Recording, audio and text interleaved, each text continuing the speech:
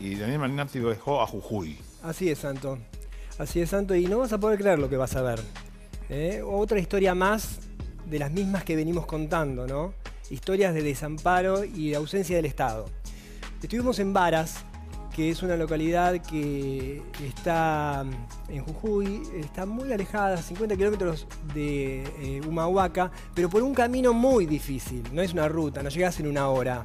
Eh, es la ruta 73 que no figura en el mapa, eh, no figura en internet por, por Google Maps, no la ves, es decir, solamente eh, Está. van ahí. La realidad es que está, aunque no Claro. figura entre esos lados. Solo los que viven están. Y es una zona en donde hay muchos niños y en donde solo hay escuelas primarias. Entonces, desde siempre es un reclamo de varios años, de muchos años, de decenios, que quieren ahí una escuela secundaria. Se necesita la escuela secundaria.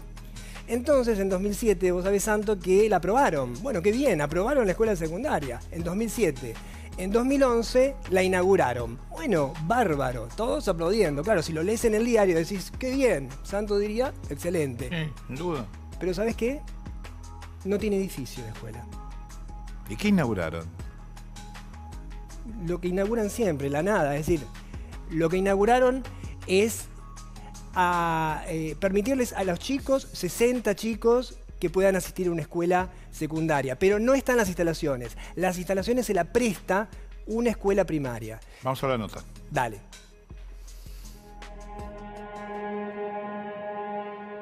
¿Por qué se están apurando tanto para levantarse?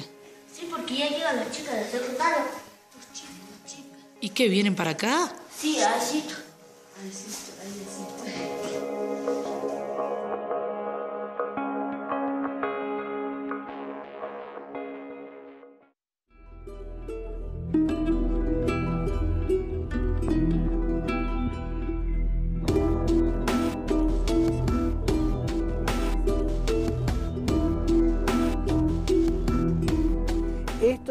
Humahuaca y ahora vamos a enfilar hacia Abra del Senta. Tenemos que conocer la escuela 115, es una escuela muy particular en un lugar muy inhóspito. Si lo buscas en el mapa no encontrás la ruta, así que vamos a ver con qué nos encontramos. Esto es ir avanzando paso a paso.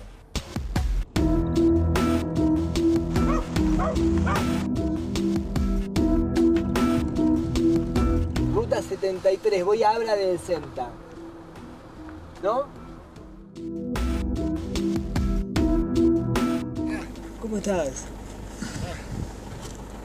¿Estamos bien para Abra del Centra? ¿Al centro? Sí. No, está lejos.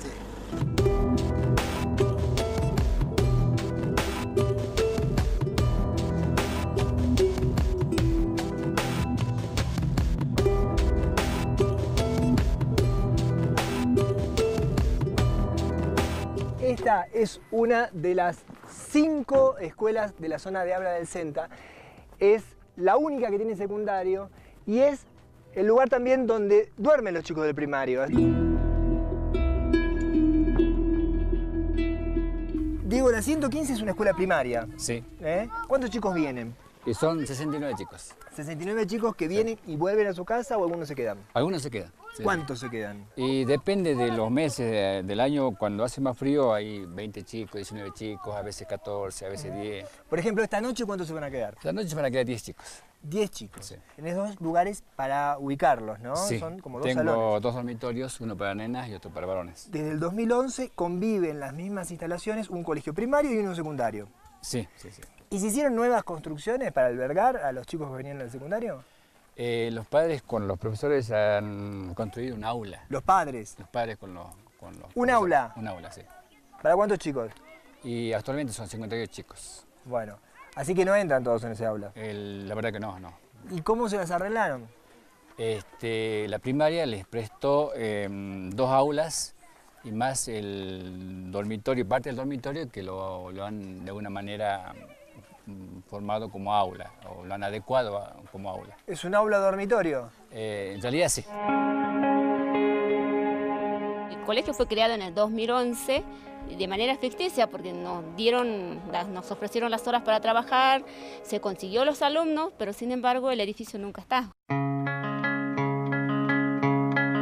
Esto es el, el albergue, el dormitorio de los chicos de primaria. Eh, dormitorio uno para varones y otro para mujeres. A esta hora, ¿está funcionando como albergue para la primaria o como aula para la secundaria? A esta hora ya sería el dormitorio para los eh, niños y niñas del primario porque ya terminan la jornada a las 6 de la tarde y ya vienen aquí a, a dormir, a pasar la noche los chicos, los albergados. Así que a esta hora los chicos de la secundaria ponen sus sillas arriba de los pupitres y ya se están preparando los chicos de la primaria para acomodarse para venir a dormir.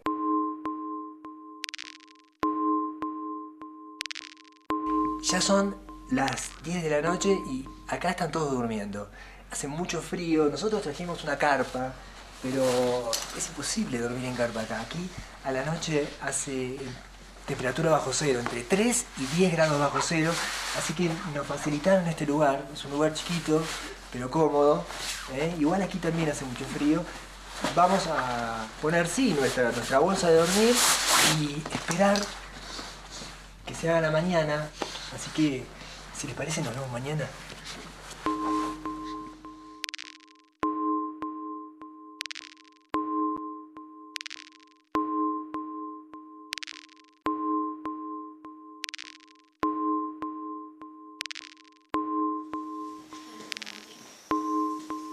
¿Por qué se están apurando tanto para levantarse?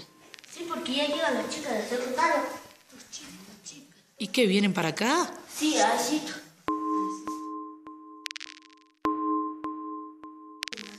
Pero este no es el lugar donde ustedes duermen. Sí, por eso. El albergue dan clase porque no hay más curso.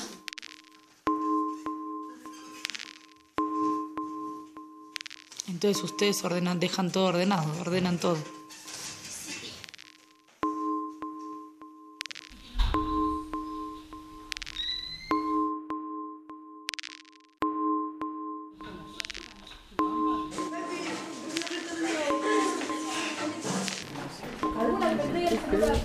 Molestar a los niños, porque son niños de la escuela primaria que uno le tiene que decir que se levanten porque ya comienzan las clases de los alumnos de primer año de la escuela secundaria.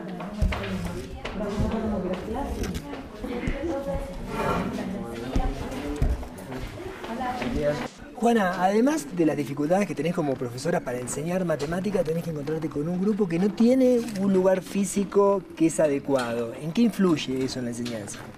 Eh, influye, influye mucho. O sea, tener una escuela, tener un edificio propio, eh, es lo más importante en la educación. Eh, nosotros estamos viviendo así como de prestados, digamos, adosados a la escuela primaria. Ahora vienen los chicos del secundario y vienen para acá. Sí, hay.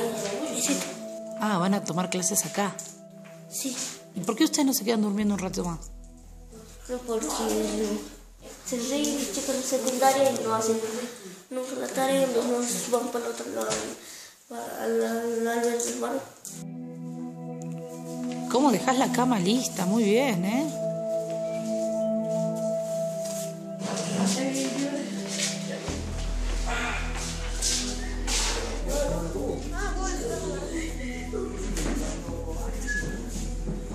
Oye, Juanita, ¿tú estás haciendo?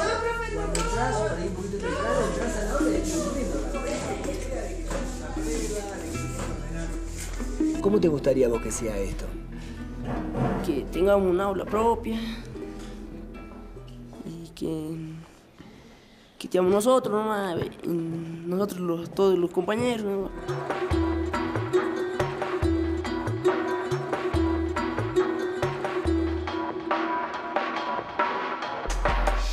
Una escuela. Eso es lo que hace falta, una escuela. Una escuela. Porque tenemos media de un lado y media del otro. ¿eh? Eh, es una suma en donde todos pierden. ¿Por qué? Porque en esta zona, que es la zona de Abra del Centa, hay cinco escuelas primarias. Y la única escuela secundaria es esta. Así que es el único lugar de referencia donde los chicos tienen que ir. Claro, entonces cuando llegan a la edad de la secundaria, o van a esta, o van a Huahuaca, que es muy improbable porque es muy difícil el camino, o no estudian. ¿eh? Entonces, ese es el problema que aquí se está presentando. Todos pierden. Ahora, si la inauguraron, ¿no? ¿Cómo van a decir, tenemos que hacer la escuela? No, eh, ellos la inauguraron y dejaron a la comunidad educativa que se las arreglen como puedan. ¿Cómo hicieron? El director de la primaria les, dio- les ofreció dos aulas, los padres construyeron Los aula padres construyeron una y le están sacando el aula dormitorio a estos chicos. Entonces, la escuela albergue tan importante como institución en el país pierde. Y la escuela secundaria, También. tan importante, también lo hace. Y perdemos todos. Y sí, perdemos como país. Así es.